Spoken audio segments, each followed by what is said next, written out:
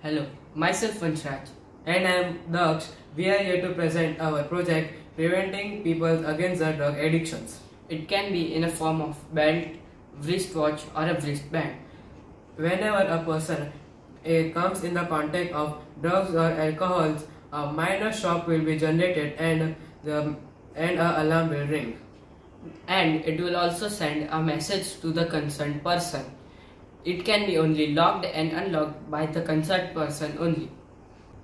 If a person tries to break, it will it will send a message to the concerned person.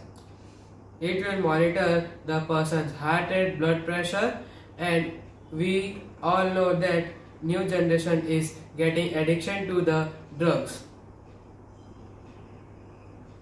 Uh, this will prevent many people that that that are addicted to drugs. It will be affordable by any class of the society. Thank you.